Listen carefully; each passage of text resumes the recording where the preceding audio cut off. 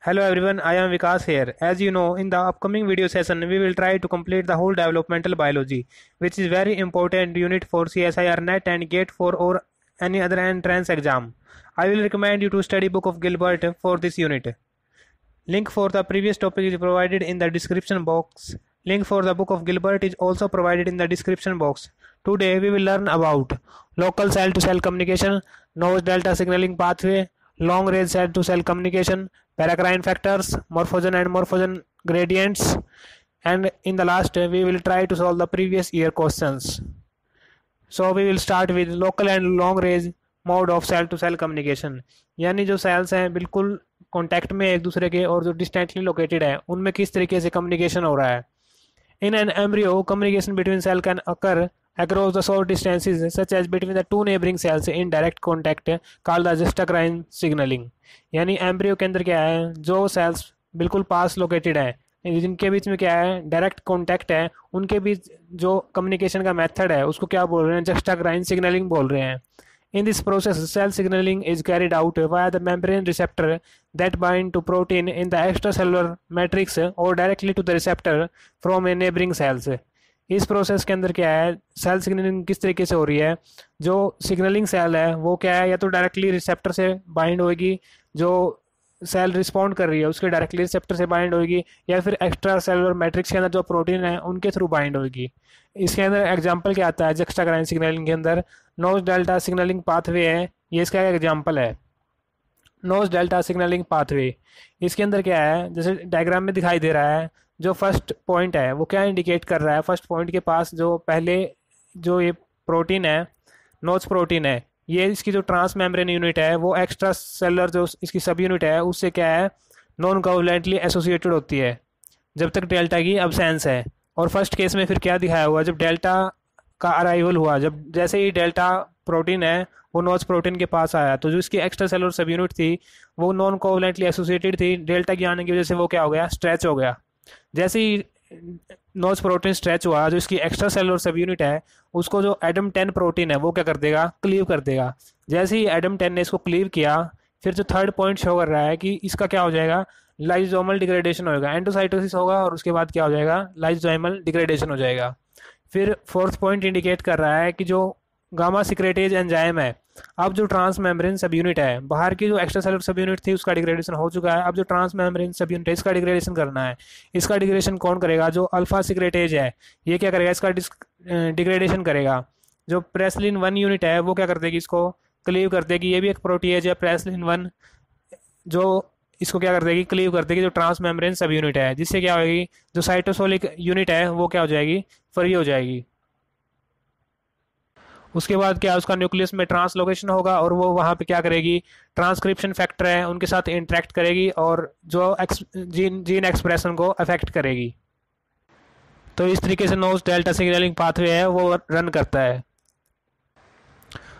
For long range signalling is through the paracrine signalling such that one cell secrete signalling protein ligand into the environment and across the distance of many cells अब क्या है जो long range signalling है, वो किस तरीके से हो रही है? वो पैराग्राइन सिग्नलिंग के थ्रू हो रही है। यानी पैराग्राइन फैक्टर्स है, वो क्या होंगे? जो सिग्नलिंग सेल है, वो क्या करेगी? सिक्रेट करेगी इन्वायरमेंट के अंदर, जो डिस्टेंटली काफ़ी डिस्टेंटली लोकेटेड सेल्स हैं, उनके ऊपर जाके क्या करेंगे? वो वर्क करेंगे। Only two cell expressing the ligand corresponding receptor can respond जिसके पास क्या है लिगैंड के लिए कोरस्पॉन्डिंग रिसेप्टर प्रेजेंट है, वही क्या करेगी, उसको रिस्पॉन्ड करेगी। Either rapidly through the chemical reaction या तो क्या है केमिकल रिएक्शन के through in the cytosol cytosol के अंदर जितने भी केमिकल रिएक्शन हो रही है, उनके थ्रू रिस्पॉन्ड करेगी या फिर क्या है more slowly through the expression of protein and gene या फिर जीन और प्रोटीन का जो एक्सप्रेशन हो रहा है, उसके थ्रू क्या रिस्पॉन्ड कर रही है।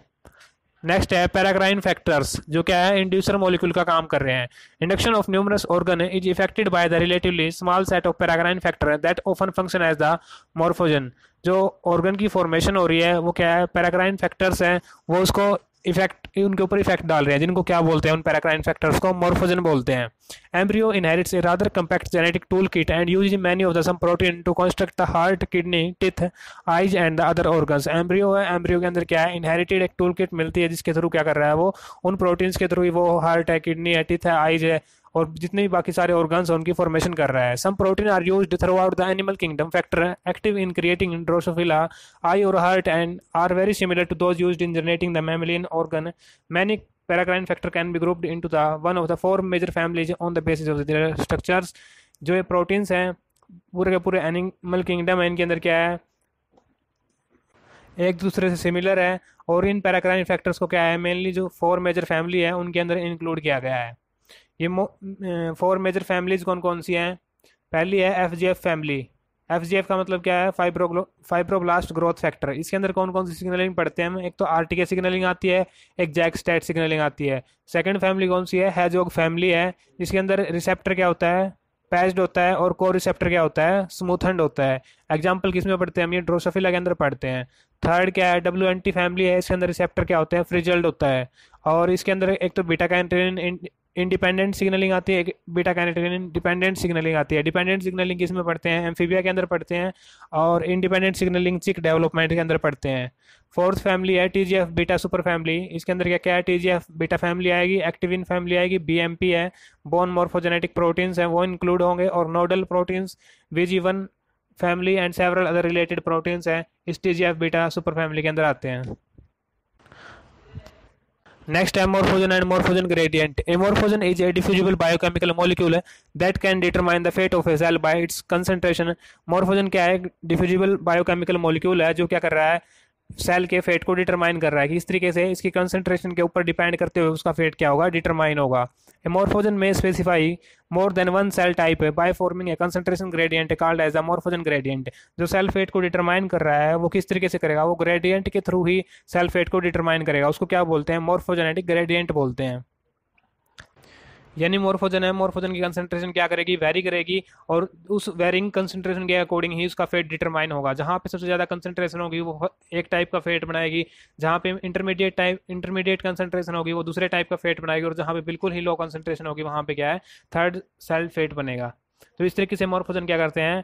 डिटरमाइन करते हैं सेल फेट को they can be paracrine factor that are produce in one group of cell and then travel to the another group of cell specifying target cell differently according to the concentration of the morphogen ये mainly क्या होते हैं? Paracrine factors होते हैं जो एक group of cell produce कर रही हैं और दूसरे ग्रुप ऑफ़ सेल तक क्या कर रहे हैं? ट्रैवल कर रहे हैं और जो स्पेसिफाई स्पेसिफाइंग टारगेट सेल्स है differently according to concentration of morphogen morphogen की कंसंट्रेशन के अकॉर्डिंग उनका फेट क्या होता है? डिटरमाइन होता है।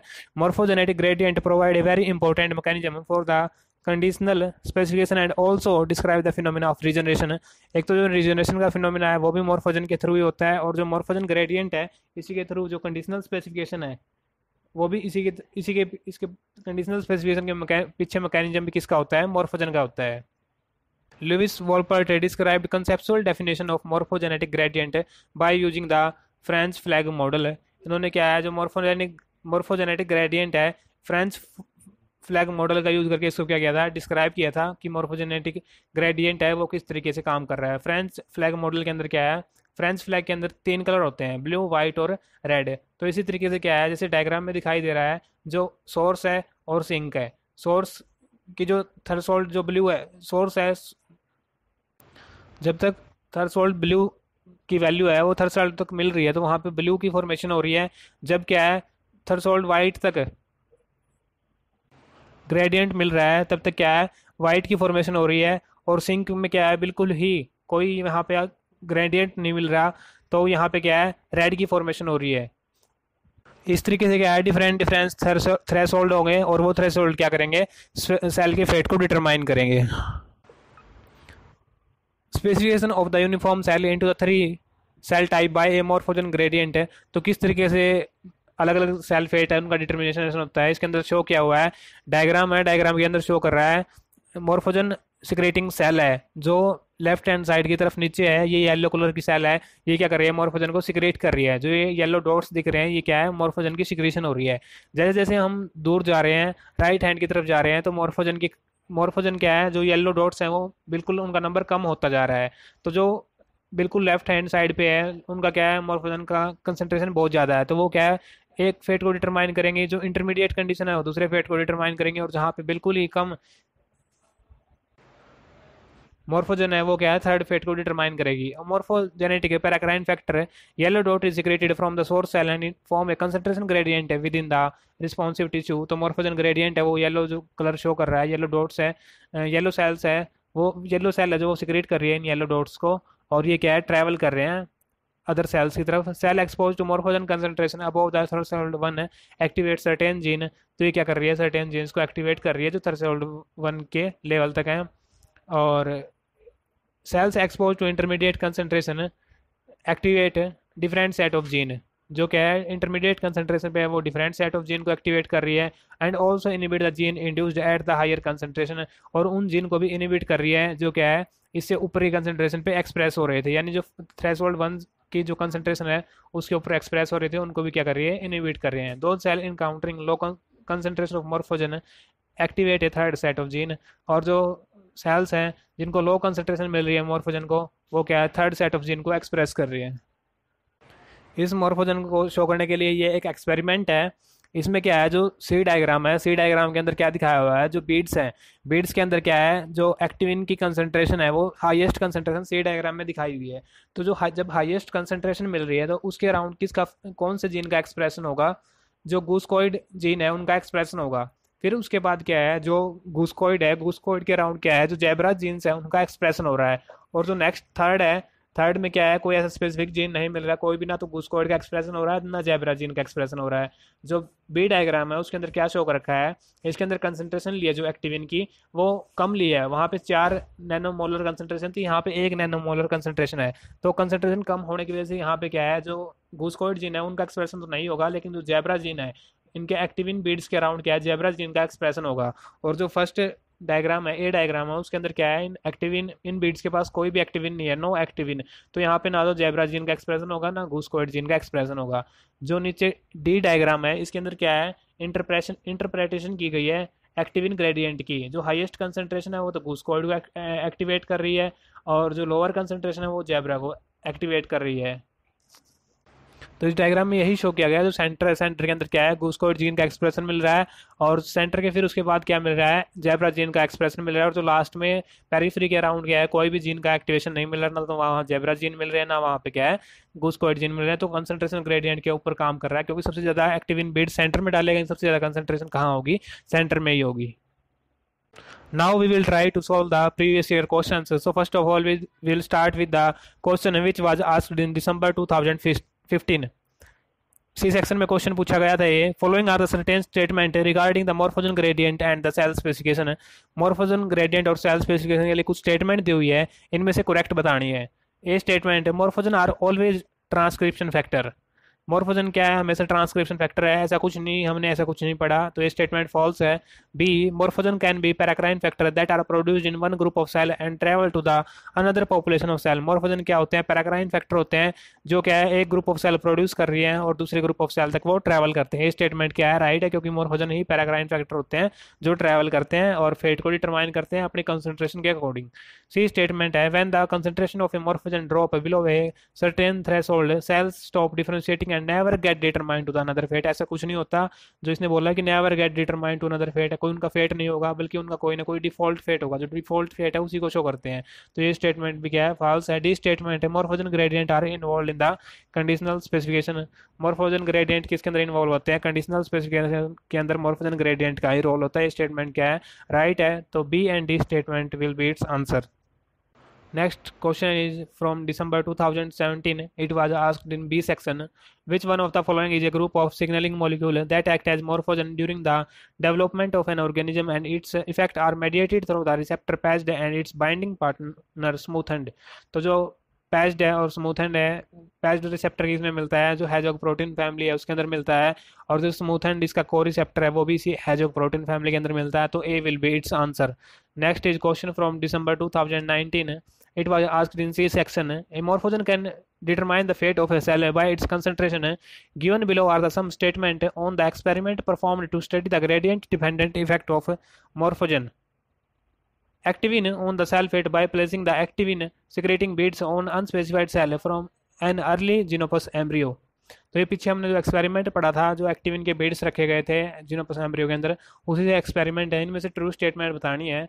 Beads without activin did not elicit expression of zebra और गुस्कोइड जीन तो यही स्टेटमेंट है, यही राइट right है, क्योंकि ए बीड्स विदाउट एक्टिविन जिन बीड्स के अराउंड कोई एक्टिविन नहीं है तो वहाँ पे क्या है गूस कोड या जेबरा कोई भी जिन एक्सप्रेस नहीं होगा तो ये स्टेटमेंट राइट है। Next B statement cell nearest to the beads getting the highest concentration of activin induced goosecoid gene whose product is a transcription factor specify the frogs dorsal most structure ये statement भी क्या है right है, क्योंकि जो sales nearest beads के बिल्कुल nearest है, वो क्या करेंगे गूसकोइड जीन को एक्सप्रेस करेंगी, और क्या है specify the frogs dorsal most structure next है cell nearest to the beads getting highest concentration of activin induce zebra gene whose product is transcription factor specify the frogs dorsal mouse structures zebra gene express नहीं होते goosecoid gene express होते हैं तो सी statement क्या है false है next d statement cells farthest from the beads getting the negligible activin activate zebra gene and become blood vessels and